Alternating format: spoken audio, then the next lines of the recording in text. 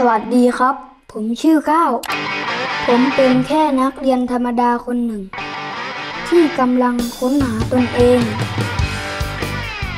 บางทีผมก็อยากเป็นนักฟุตบอล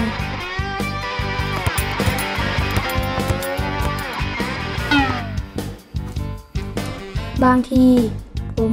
ก็อยากเป็นช่างภาพ ที่ถ่ายนางแบบระดับโลก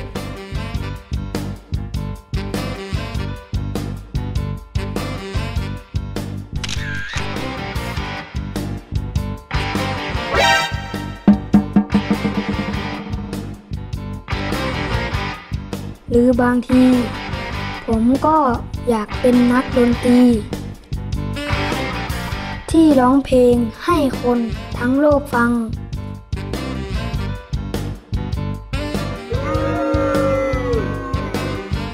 แต่บางที หลายหลายอย่าง ก็ไม่ได้เป็นอย่างที่หวัง จนกระทั่งผมได้พบ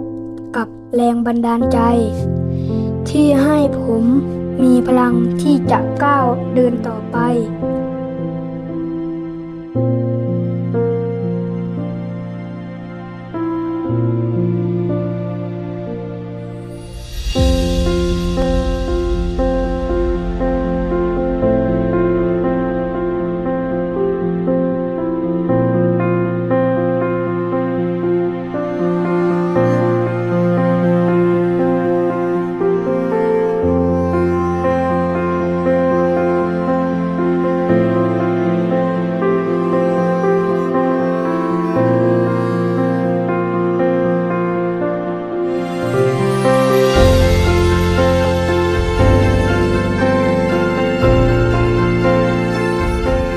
ขอบคุณแรงบันดาลใจนี้